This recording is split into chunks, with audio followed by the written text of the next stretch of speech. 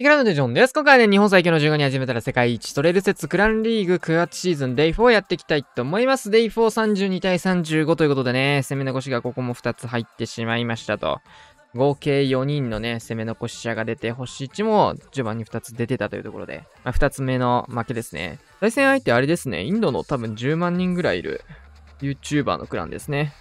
まあ、今月はね、ちょっとビリ争いが攻め残し者で埋め尽くされてますので、まあ、下の争いが結構激しくなるかな、最終日。というわけでね、早速やっていきたいと思います。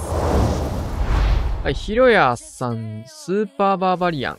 クローン2発型スーパーアーチャーで、まずは初手いきなりぶっ飛ばしていきますね。これはタウンホールも視野に入れた突撃艦かな？手前に落とすのか。基本的には奥まで伸ばしたいように見えますね。はい。1マス空いてるここに打ち込んできましたね。そして、クローンをかけていくことで、まあ、タウンホールも触れたり、内がマルチ IT だったり、クランジョもされるようなスーパーアーチャー作り出してますね。で、スーパーバーバリアンの方で援軍ラバハウンドを少し寄せつつ、これはタウンホールプラスで外資、おー、ここかけずにきっちり、インビジブル2発残して、とんでもねえバックアウトですね。ただちょっと、スーパーアーチャーがタゲを取りすぎてなかなかラバハウンドがやってきません。いや、削りいいね。サイレクトロタイタンを当然ここはラバーハウンドに合わせて、下がこっちね、空に反応する防衛説をなくしているので、ここもすでにガーゴイル展開しているような状況ですと。で、ゴーレム積んでますね、今回。で、見習いウォーデンとキングを一緒に歩かせつつ、イーグル砲のターゲット、ここゴーレムが引き受けてくれてますね。これはめちゃくちゃ美味しい。こういう時にガーゴイルがね、めちゃめちゃ生きるんで、空飛ぶユニットっていらなそうでも割と大事なんでね。強いですよ、こういう時。さあ、穴開けしてしっかり奥の方へ誘導させていきつつ、スーパーバーバリアンとアイゴレで外周部削ってますね。ここからフィスト使いのいいフリーズが入って、ウォールブレーカーはこれ、外に出るような道作っていきましたと。さあ、アイゴレに合わせてロイヤルチャンピオン上から登場。ストライカーしっかり1体残してますね。危ない。ちょっとあんまり奥に入りすぎない方が良かったんですが、ここはクイーンもクローク使いつつ、壁が繋がってるとね、ここはやっぱクイーンヒーローの伸びっていうのが相当縮まりますね。こういうところでね、結構余力を持って最終区画迎えかけてたんですが、クロークもフィストも両方なくなってる状況です。インビジブルしっかり余してあるので、ここはシングルインフェに合わせつつ、キングの処理をスーパーバーバリアンとストライカーでやって、まあ、ガーゴイルとバルーンが残ってたので、裏の迫撃砲を合わせて GG と、圧倒的全開が、そうです。うまいですね。かつ強いですね。スーパーバーバリアンってやっぱタゲ取りゲーみたいな感じで、ちょっとクラクラの基礎みたいなところもあったりするので、まあ、数が多すぎるんで基礎と呼ぶにはあれなんですが、まあ、結構大事な要素っていうのをね、抑えてますので、ここは各クイヒのホグですが、ここキングをクイーン区画に入れつつ、クイーンを9時の方流して、援軍の方もキングで、うん、することができそうですね。狙ってた9時区画すべてっていうのを、あ、9時じゃないわ。10時区画すべてを釣ることができまして、援軍釣り出しっていうのもできましたと。さあ、これギリギリなんだけど、レイジタワー乗ったクロスボウ強いね。1タゲのみであそこクローク博士の害悪すぎるでしょ。で、タウンホールの方をシューターで落とすような形ですね。これタウンホールバカードがすぎる。シューター1個ポンって置いただけで、あとクエイク採用して、ね、タウンホール起動をさせてという形も当然やってる形です。さ、ベビードラで大砲を切ることで、この1マス区画にクイーンを戻していくような形と、ホーミングチェックも一発見せつつ、うん、捨てましたね。いや、めちゃくちゃいいな、これ。さあ、インビジブルレイジを強気に打っていって、クイーンの方をマルチ IT の区画にしっかり誘導ができました。さあ、6時からここホグ合わせですね。クイーンの方を内側に誘導していくようなイメージ。さあ、レイジターが帰ってきてしまう。イーグルのターゲットはスーパーホグに飛んでって、ここはフリーズをね、かけていきまして、ウォールブレーカー1枚目、2枚目奥にかけていきたいんですが、うん、投石のところ、本来は大工とかの方に飛ばせるといいウォールブレーカーでしたが、というところ。さあ、ここでトームかけてますね。分かれたところ、スケルトンの呪文もね、置いてね、モノリスのターゲット取っていきたいような感じなんですが、しっかりクロークね、もうすでに使ってますからね、ここモノリスターゲット、フリーズで固めていきました。ロイヤルチャンピオンの方がそうなると、守る呪文がなくなってきちゃったんで、ここはレイジでゴリ押し突破を試みます。さあ、これは、ポイズンリザードが本当に強い。ポイズンリザードがレイジ化して一瞬でロイちゃん飛ばしつつ、ちょっと苦しそうには見えるんですが、マルチ IT 第1クロス残っていって、ここはウォーデンが第1クロスを追っていくような形になりましたね。そうすると真ん中マルチが残っていくんですが、うん、トルネードはここホグで引っこ抜かれつつ、クイーンの方が日陰入らないところでここは壁を殴ってくれてますね。マルチ IT もダイクもこれクイーンそのまま打ち切りそうですね。回収していっての前回ガーサス。さあ、デッサン。おー、ドラグバだ。ドラとインドラとドラゴンライダー入れて、懐かしいですね。あ、5枚全部使ったね。5枚全部をモノリスのところに打っていく。これで折れるなら確かに61天才よりもね、呪文の枚数が少ないんで、コウモリで折れれば十分強いと。そしてアイスゴーレムを合わせることでウィズ島のターゲットをアイゴレで取ってるので、対空砲までこれ降り切る。これうんま。両サイドこれは降り切れてますね。で、上からロケバル2枚採用で対空砲の方まで削っていく。あ、これめちゃくちゃいいっすね。そしてインドラでターンホールを狙うつもりだと思います。キングの方を超火力でインドラで落としていって、ああ、そうだね。ホーミングさっき反対サイドも受けてたので。まあ、インドラ5枚はほぼタウンホールケアという形かな。さっき1枚当たってタウンホールの方にホーミングチェックが行ってくれればって感じなんですが、赤バクのみ。あ、これフリーザース、うー、危ない。なかなかホーミングチェック難しいところでしたね、これね。フリーズかけてタウンホールまでしっかり突破。いや、これ、序盤の作りめちゃくちゃいいですね。ドラグバうまい。ドラグバプラスでインドラでタウンホールを落としていくようなやり方。まあ、インフェルノドラゴンもね、スーパーユニット解放できるということで、最近スーパーユニットがね、キャンセルできるようになったので、こういうやり方もできるようになりましたと。さ早めですが、ここはトームをかけていって、エアスイープはどういう向きだ？あ、結構だるいな、この向きは。ボマー型中心入れつつ、ここからヒーローで外周部削っていきますが、フリーズかけて対地マルチを固めていきます。さあ、イーグルまで突破して、エアスイちょっとめんどくさいですね。まあ、ある程度仕方ないなっていう感じで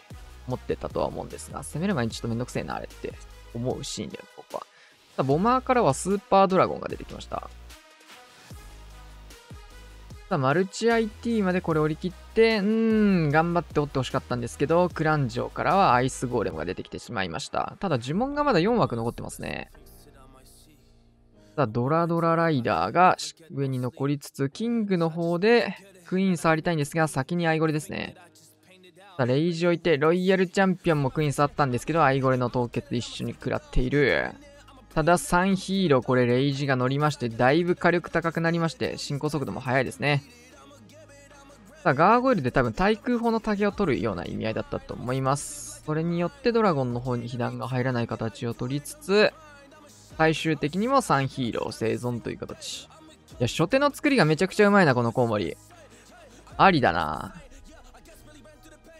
うま。デッサンうまいっすね。個人的にちょっとね、見たかったっていうところで声かけたんですけど、声かけてよかったなーって思ってます。うまいっすね。さあ、森尾さん、スーパーホグ、シューターセットで、迫撃砲のターゲットはしっかりクイーンで取れてますね。で、ベビドラカット。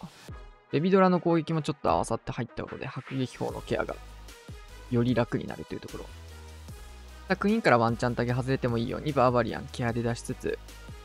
このシューター相当強いですね。さあ、穴開け使って道ができました。空に反応する援軍だけここは出てくる形かな。さあ、ストライカーも合わせて、これは援軍3体全部釣れましたと。さあ、ロイヤルチャンピオンかかるところでポイズン打っても理想的な当たり方。そしてウォールブレーカーつけていきます。これもいい位置ダブルで開くので、相当綺麗に開きますね、これ。ホーミングチェックバルーンを通していって、ホーミングしっかり吸っていきます。さあ、イーグル砲の方もね、これシューターが打ってくれることでクイーンのサイドカットにもなるし、おでん像もこれ勝手に折れますね。はい。ちょんと触って、インビジブル。レイジターも乗ってますからね、これ。すべての責任をキングに押し付けていきます、ダメージ。反対サイド、シューターもしっかり仕事をしていきつつ、ボールブレーカーもう1枚あるんですけど、クランジョをつけるかな、これ。マルチャイ、まあそうだね。マルチ IT クランジョのとこつけていきつつ、真ん中にこれで侵入ができました。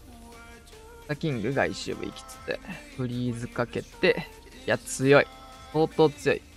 あ、そうか、これ、ラバルじゃなくてホグでやるんだもんな、これ。よく考えたら。タウンホールをトームで突破していくわけなんですけど、まあ、ボムタワーも重なってるしね、これね。ラバルでもいいシーンな気がするんだけど、レジェンドリーグでやってるのがこの編成だからとか、そういう理由なのかな。まあ、ホグトーム。まあ僕も結構ね、レジェンドやってた時に、これタウンホールホグで潰せるなってこと何度かやってたんですけど、さあ、かなりごちゃごちゃしてまね、してますね、タウン区画。さあ、スケルトンの呪文を置いて、富士の方、ターゲット、剥がしつつ、イエティターゲット取ってる隙に裏からもホグ差し込んで、合流していくような形、フリーズもしっかり2発残ってるということで、これ相当うまいし余裕がありますね。V ヒールートがめちゃくちゃ良かったのと、プレイングもね、全くミスがなかったですね。余裕の全開が、そうっす。さ、スミス51天才。真ん中マルチ IT とレイジタワー、エアスイーパーを追っていきました。3時からクイーンを置いていきます。シューター型では、あ、じゃあいいや。ウッドランチャー型ではなさそうな入りですね、これだと。突撃、ああ、でもウッドランチャーに切り替わって、イーグルマルチを目指すのかなそしたら。なるほど。まあ、クイーン単体でこれは、マルチ IT キングのところまで削りつつ、キングの方で投石クイーン区画を突破させていくっていう形ですかね。そうなると、ここね、マルチ IT 受けながらのキック処理なんで、ストライカーをジャイアントで釣りかけたが、ここそうなんだよね。あ、フリーズ使うのね。51天才だから、普段よりも一発分余裕があるってとこ。あそしてこれ、ウッドランチャーでインビジブルタワーが発動しない。角度的にちょっとずれてた感じか。キングの処理もフリーズ使ったことで簡単に突破できて、マルチ IT これで3本全部折れましたね。そうなるとイーグル砲が真ん中残っていくんですけど、角度的に結構キングのね、補助をするような出し方をしてったので、イーグルの方にはね、ダメージが入らないようなやり方になってる。で、まあ確実にマルチ IT 折れるっていう形かな。ここからラバルパートスタートです。一気にラバに展開していって、フリーズをまずかけていきました。ここね、フリーズかけなきゃいけないのだるいっすね。インビジブルタワー以外だったらね、レイジトームで済ませられるんですけど、インビジブルタワーが残ってるので、ここはレイジトーム、プラスでフリーズまで打たなきゃいけないというところがね、これインビジブルタワーの強いところですね。だクイーンが投石、え、じゃあ対空砲折っちゃったんで、ラバハウンド裏でプカプカしております。トルネードとか色々見えつつ、VL チャンピオンにし、えー、ストライカー投げていきたいんですけど、スケルトンの呪文を置いてしっかりロイチャーのターゲット取れそうなタイミング。裏からストライカー合流。しっかりイーグルもね、終点なんですけど、ロイヤルチャンピオンも余力があって、余裕の全開ですね。うまい。みんなうまいね。これもいい全開かなと思います。ナイス全開。なんかギリギリ全開になったっていう感じにもなく、しっかりプラン通り刺さって、プレイングのミスする人がやっぱこのメンバー少ないっすね。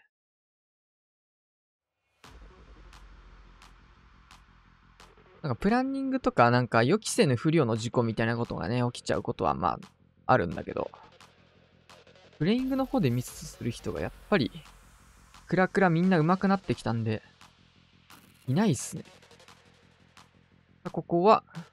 クラウス、マルチ IT これで3本折れる形ですね。さっきと同じような感じで。早めのフィストでこれバーバリアン生み出すことでウッドランチャー守っていきたい感じだったと思うんですが、まあ、ちょっと2本入っちゃいましたが、それでも折れそうですね、ウッドランチャーで。はい、イエティの方で、あ、まあ、なんならロケバルが刺さりました。クイーンのターゲット、これアイゴレに取れてなかったのを見て、速攻で黒く打ちました。これジャイアントでタゲ取りたいんですけど、投石まで飛ばしたいので、うーん、なかなかクイーン。これ押せそうじゃない？普通に。投石以外のターゲットが入らないんで、これ、折れそうっすね。あー、だるい、それは。ジャイアント出したせいで、